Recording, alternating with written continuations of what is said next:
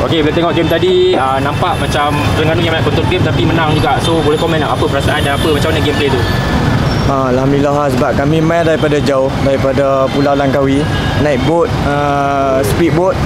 Kira main daripada petang tadi balik pun malam ni insyaAllah.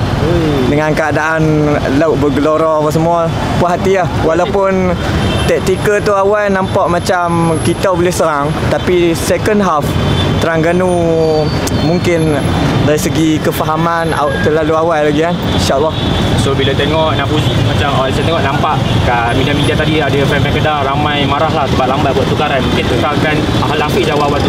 Komen lah. Sebab apa atas faktor apa? Mungkin sebagai fan nak cakap Yalah kalau kami sendiri pun tadi patutnya kena tukar awal ya.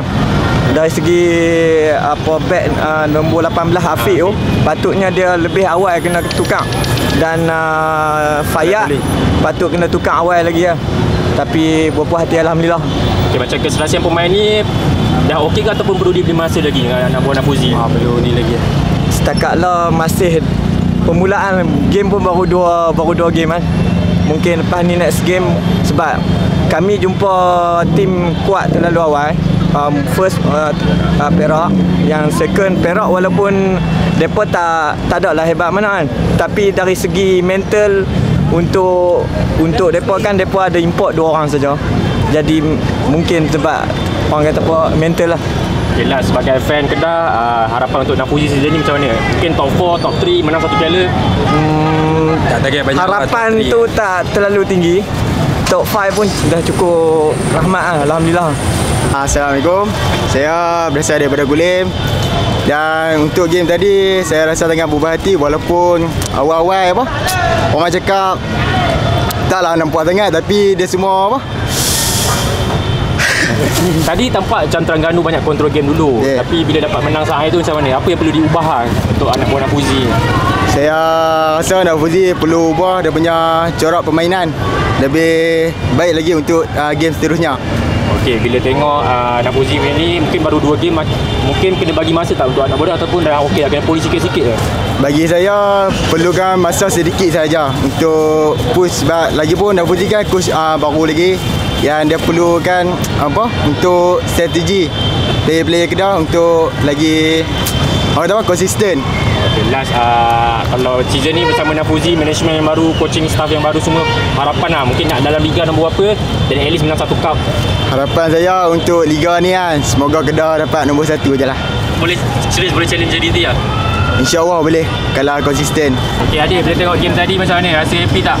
Happy sangat-sangat sebab apa first first uh, apa first half uh, Kedah kena eh Kedah attack second half Kedah uh, Kedah kena attack lepas tu Kedah bangkit balik ah uh, itu yang saya happy Bila tengok tu macam banyak Terengganu awal-awal yang control game, banyak attack rasa risau tak menurut pasal risau Siapa favourite player kat Kedah?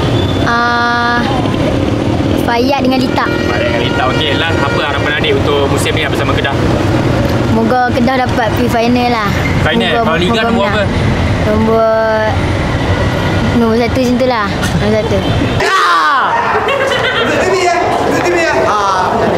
Uh, gameplay malam ni elok. Terengganu banyak control game, ada rasa risau akan takut kalah. Uh, tak ada oi. Uh, cuma risau sikit lah sebab banyak peluang mereka nak masuk. Uh, Okey, last. uh, InsyaAllah uh, Kedah akan apa ni? Ambil semua bela insyaAllah. Rezeki. Walau tadi tu kena awal sikit Awal-awal tu tengok Terengganu control game ada risau. Ada risau juga lah kan Tapi dah sebenarnya mujuk lah Sebab defend dia orang kan Tapi apa pun bola tu bulat So This result Kedah win Last, harapan. Okey. Adakah Nafuzi untuk season ni harapan nak awak macam mana? Okay, untuk season ni harapan kepada Nafuzi uh, kalau boleh ketengahkan lagi pemain muda yang mana ada di Kedah ni dan gabungkan dengan pemain yang mana ada sekarang ni. Menang lah minit, Okey. minit. Oh, kena. Boleh. Bila tengok, bila tengok Terengganu control game tu ada risau menurut lu? Woi, senang je. Kedah, pulut. Macam Arsenal. Macam Arsenal.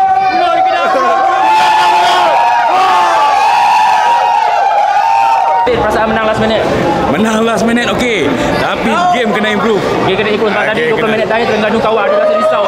Bukan kalau kita cakap dia ada dekat 70 minit semua tahu tapi tak apalah buah belakang yang penting tiga mata. Jadi mata last bang, uh, masih percaya dengan Nafuzi punya anak-anak buah ni. So far okey kita bagi baru dua game. Baru dua game? Baru dua game. So lepas ni kita go. Alright, alright. kita main. Tapi saya rest tu teruk sangat. Teruk. Rest teruk. Tapi bila tengok awal-awal betul Terengganu po- Terengganu kontrol dia ada rasa risau. Ah, betul. Risau juga. Risau kan? Risau juga. Masih bertanya dengan Nafuzi. Perhati, perhati. Geram. Geram sekali dekat. Ref. Perhati. FAM ambil tindakan bagi elok sikit. Perhati. Ya. Okey. Sama lah saya pun puas hati lah. Rem, rem. Kelas ha? Rem puas hati. Ah, rek, rek, rek kurang sikit lah. Dia, dia sayangkan awak kelas. Komen. Madon, Madon. Pak Dor lah. Tak ada pindah. Tapi dia tadi ada respect player ah, ni penyokong Kedah. Alhamdulillah uh, apa uh, peranan pertama Nafizi Zain Nafizi ball memang padu Tadi tengok awal-awal macam Terengganu banyak kontrol dia ada rasa risau. ah risau jugalah Tak nak bang. Tak nak bang. Tak nak bang. Okay lah, ah, sebagai fan target kita ni Nafuzi macam mana? Apa abang? Mantap, mantap. Game mantap. kita nak tapi kalau target apa nak uh, seperti pemilik kata Tak boleh, dah okey dah Abang macam mana bang? Ke tak? Puas hati Alhamdulillah. Gol lain main daripada Fazul Jenya. Ya! Pulun Kedah Pulun. Oh, jadi benar.